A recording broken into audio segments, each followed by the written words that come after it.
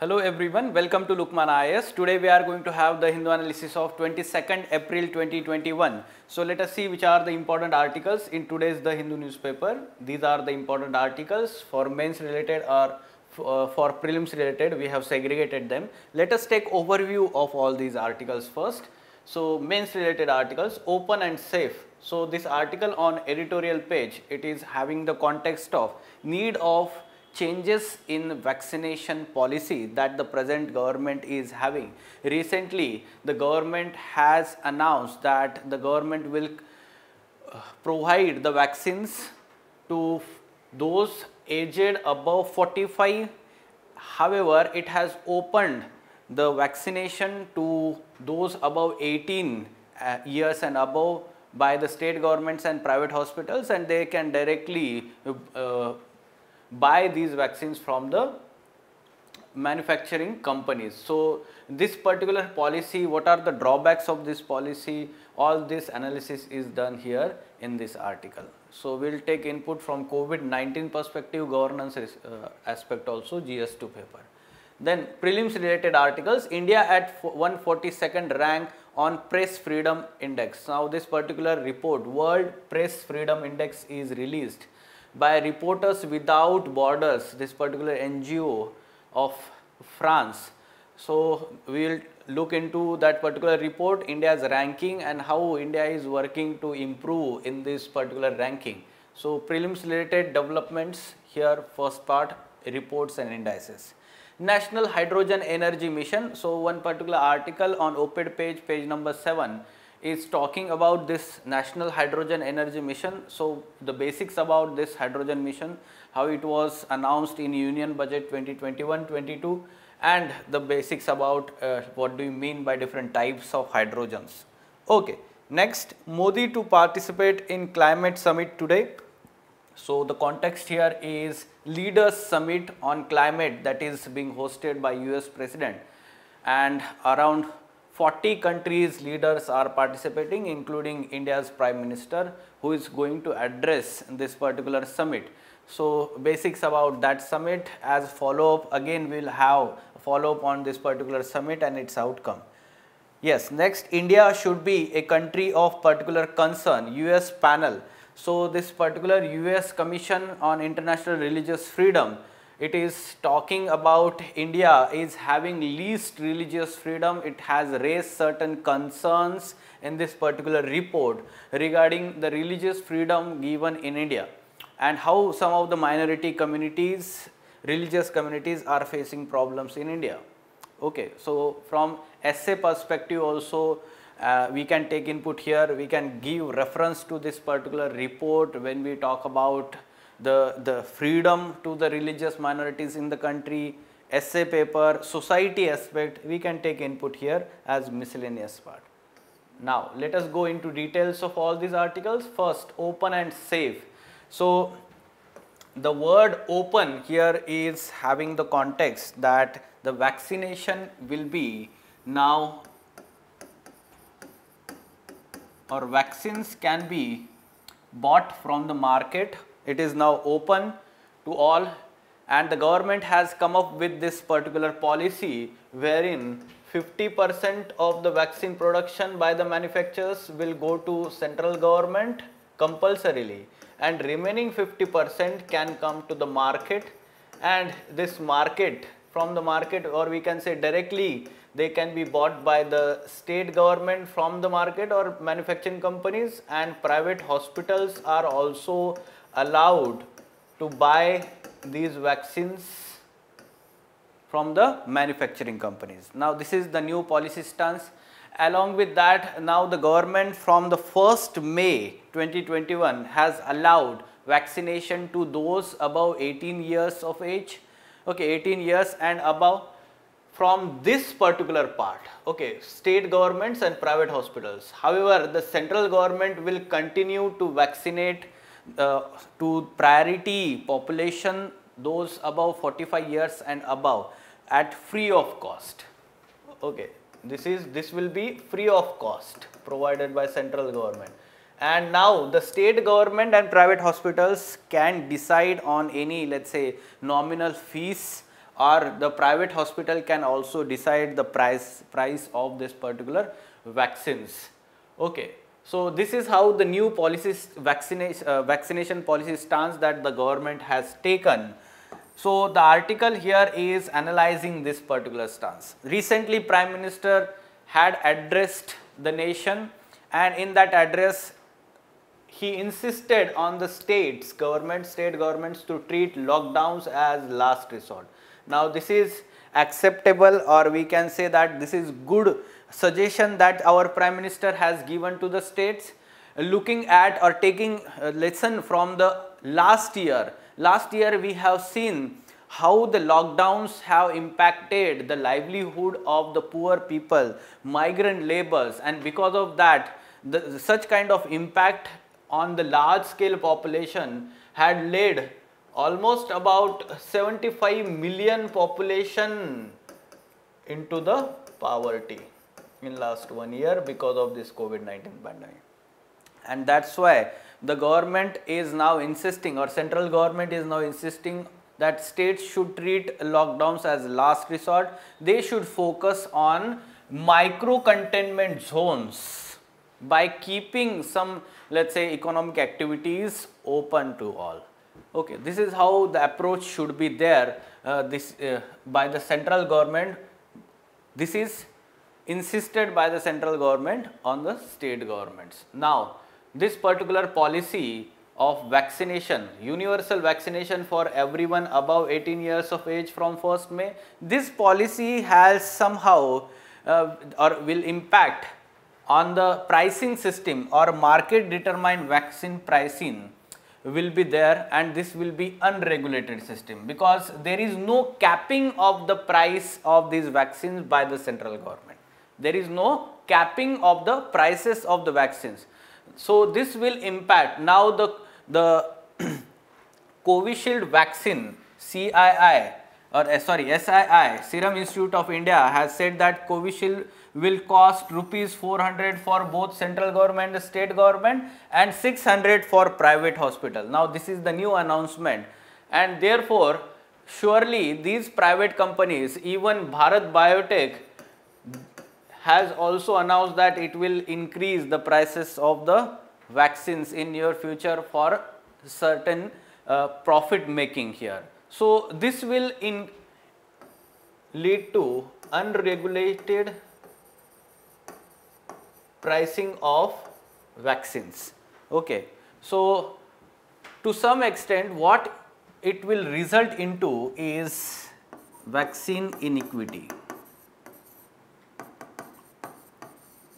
In the country. Why? Because we know that some of the states we can say that progressing states like Maharashtra, Kerala, these states will be able to provide the vaccines to its population at lower prices because they have those resources. They will buy the vaccines at this particular price from these companies, but they will provide the vaccines at subsidized rate. However, some states will not have those resources to provide the vaccines at subsidized rates and that is why this will create vaccine inequity. At the same time, when the vaccines are available in the private hospitals, that means those uh, richer section of the population will be easily having access to these vaccines at higher prices. Poor sections of the society, they will not go for the vaccination for such high prices, they will wait for the government, central government to reduce that age limit of 45 to 18 years for further time. This is how we have to understand how it will create vaccine inequity. At the same time, we have to understand that worldwide, even some of the developed nations, what they have focused in the vaccination policy is that they have uh, given the vaccines at free of cost or highly subsidized rate. So, we can say that the COVID-19 vaccination is fully state funded effort even in UK and US also. Okay. So, AstraZeneca and Covishield, so this particular let us say vaccine development project was there in UK. Largely it was funded by UK government and let's say philanthropists, non-government organizations. They funded this particular efforts and now vaccines are also being made available at free of cost by the government itself. So, we can understand that this is the responsibility of the government and government should not abdicate this responsibility here. Now, along with that, the free universal vaccination is need of the hour in India modeled on the polio vaccination. Okay, so at present we know that the polio vaccination is part of a universal immunization program that we have in India. Such kind of universal vaccination at, and free of cost uh, vaccination should be made available to each and every section of the society and even in rural areas the access should be made uh, without any hurdles. This is how there should be the responsibility of the central government as well as state government. Okay, so the vaccine inequity, this word is important and how it will be there because of such market linked vaccine pricing system, right. So, in this way we have to provide certain arguments that why there is need of changes in this vaccination policy that the present government is following, right. Okay, so COVID-19 vaccination policy governance aspect. Next, prelims related development. Now, one new report index is released World Press Freedom Index 2021. Last year in April month itself, similar index was released by the organization World Press Freedom Index 2020. This year now in April itself again it is released Reporters Without Borders. This NGO, France based or Paris based NGO, Reporters Without Borders. You need to remember this particular name. Okay, World Press Freedom Index 2021. Now India is ranked again at 142nd out of 180 countries. Last year also in 2020, the rank of India was 142nd. So it is continuously declining. India's rank in 2016 was 133 and now it has reached to 142nd. What is this particular World Press Freedom Index is talking about or analyzing is freedom given to journalists, press journalists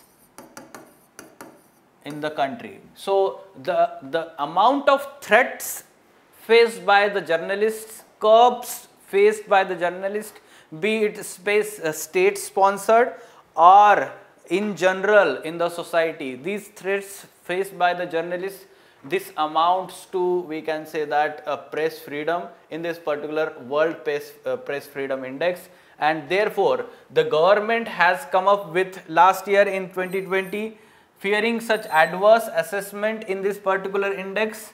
Index monitoring cells were established in different ministries and also to monitor about this particular index ministry of information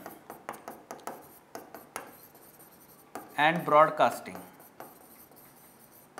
This particular ministry had this index monitoring cell looking at the problems which are faced uh, by the journalists in the country and working upon those problems, solving those problems, solving those issues, right. So, so that the World Press Freedom Index and India's ranking is improved. But this year again the same ranking is kept here and this particular report or this index has said that India is having or one of the let us say country in the world which is having highest threat faced by the journalist. It has also mentioned about the internet ban in Jammu and Kashmir last year. Internet ban in Jammu and Kashmir and how it has impacted journalists in that region to have the free access to the information or the on the ground. Okay, so or we can say that release of that information at certain in, platforms, media platforms, right? Because of that it impacted the work of journalist freedom of journalist. So such kind of events that happened so uh, from time to time there have been attacks on the journalist. So many such mentions have been there in this particular report so when we talk about gs2 paper polity part freedom of speech and expression under article 19 freedom of press is part of that particular fundamental right Okay, so this is how we have to understand and from prelims perspective you need to remember this World Press Freedom Index which is released by Reporters Without Borders NGO based in Paris, France. Okay, and India's ranking 142nd. Now what kind of question we are expecting here? Such kind of match the following type of question we are expecting human freedom index is there, world press freedom index is there, human development index is there. Now, uh, among these pairs, which of them is correctly matched? So, world press freedom index just now we look, looked into, it is released by Reporters Without Borders. Okay, it is France based or Paris based NGO, right. So, this is incorrectly matched human freedom index again it is incorrectly matched actually here human freedom index is released by Cato, Cato Institute of US let's say think tank and Fraser Institute Canada. This is how we need to remember that human freedom index is released by Cato Institute and Fraser Institute. Okay. So, both are incorrectly matched. Human Development Index is compiled and released by UNDP, United Nations Development Program. Okay. Yes. So, Human Development Index, this is correctly matched and that's why the answer is 3 only. Okay. Yes. So, we can expect such kind of question, match the following or on particular index and India's ranking, which are the indicators used arriving at this particular index, such kind of question we can expect here. Next, National Hydro Hydrogen Energy Mission. So, this particular mission was announced in Union Budget 2021. Here it is wrongly written, this should be 2021-22. This year's budget it is announced National Hydrogen Energy Mission. Now, this mission focuses on generation of hydrogen from green power sources that means renewable energy.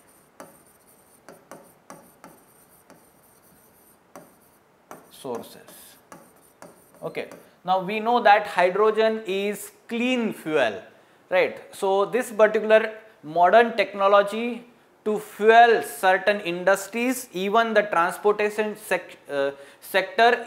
So, exploration of this particular technology is being done and now when we develop or let us say focus on this particular hydrogen being extracted from uh, green power resources or renewable energy resources, it is not only helping us to utilize these re renewable energy resources, it is also helping us reducing our carbon emissions from hydrocarbon fuels or fossil fuels, right. So, from both aspect it is important uh, to meet the Paris agreement commitments that we have done along with that whatever the focus that we have or the targets we have for renewable energy production we know that India is having targets at present of 175 gigawatts by 2022 and 475 oh sorry 450 gigawatt by 2030 so, these targets we are going to meet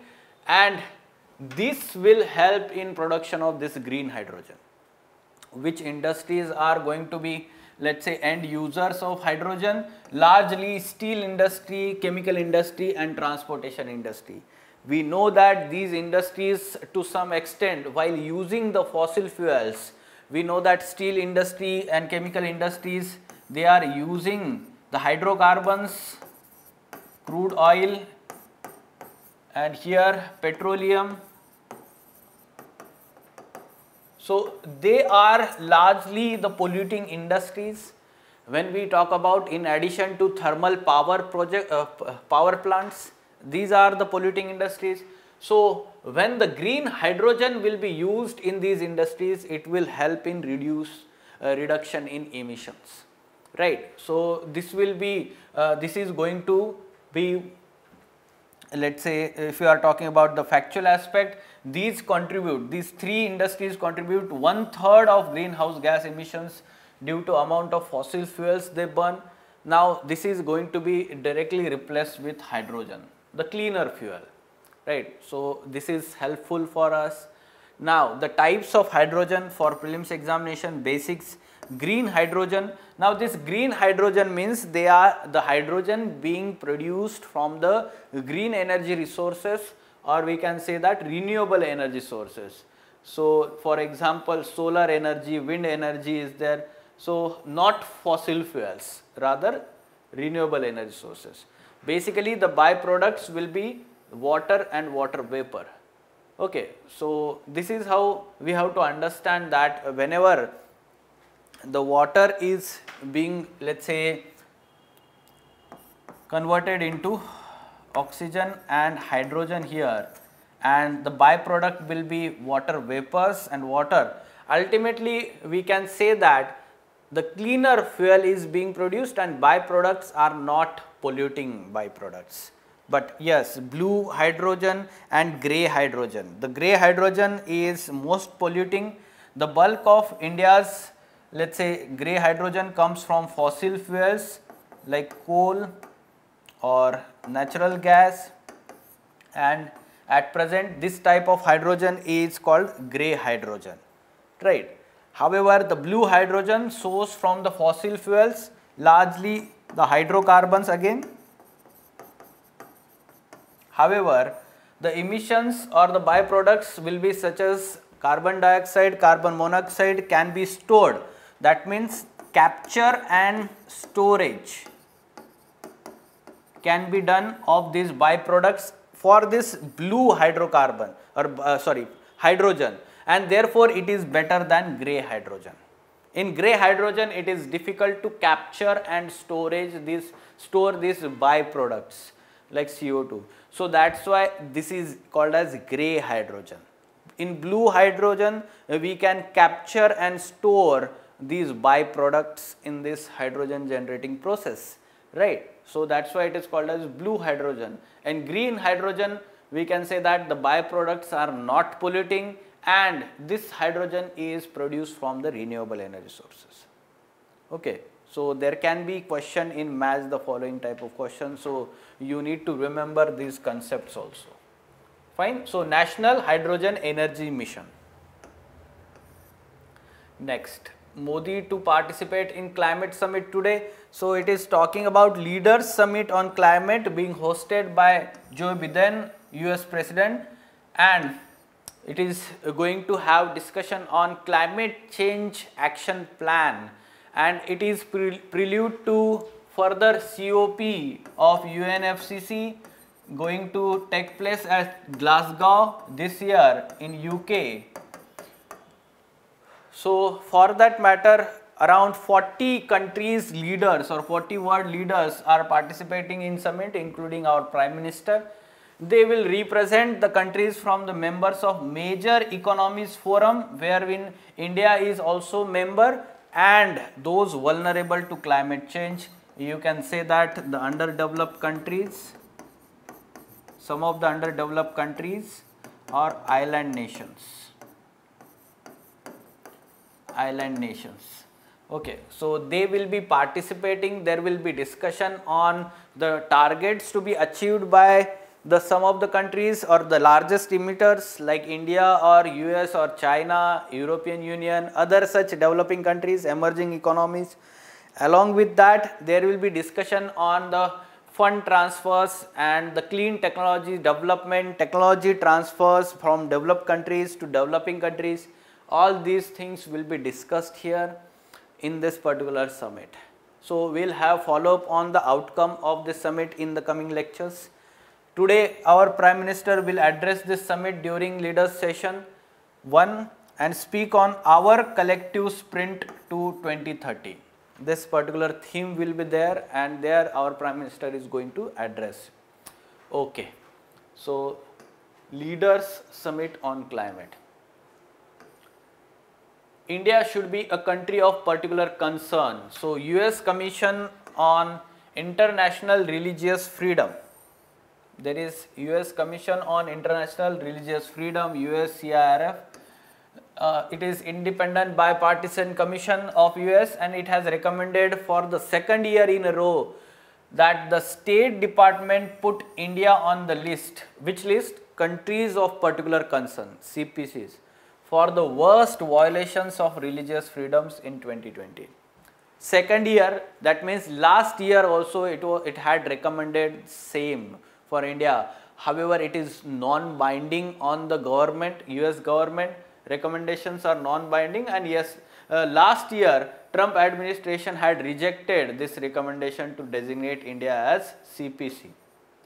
Now, the, this year's report had raised certain concern regarding the violations of religious freedom. What are these key concerns in this report? Citizenship Amendment Act and the further we have seen the protest against this particular act.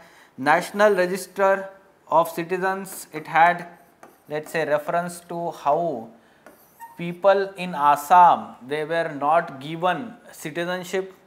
Along with that, efforts to prohibit interfaith marriages. So, some of the laws were enacted by Uttar Pradesh and Madhya Pradesh regarding interfaith marriages, hateful rhetoric against Tablighi Jamaat in March 2020. Last year we have seen how this particular Jamaat were targeted uh, by certain section of the people for spread of COVID-19 last year, right. So, because of that such uh, let us say re religious freedoms were violated in India, these concerns were raised in this particular report.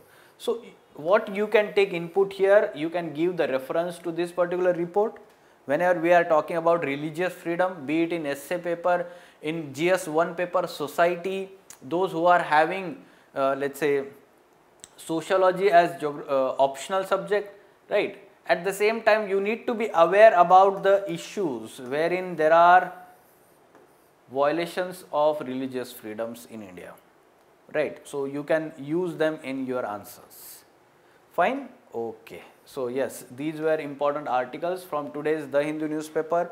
For further information on editorial discussion classes or ED classes, wherein in-depth analysis of mains related issues and articles is done by Ansari sir and team. You can contact Lukmaan IAS. Thank you.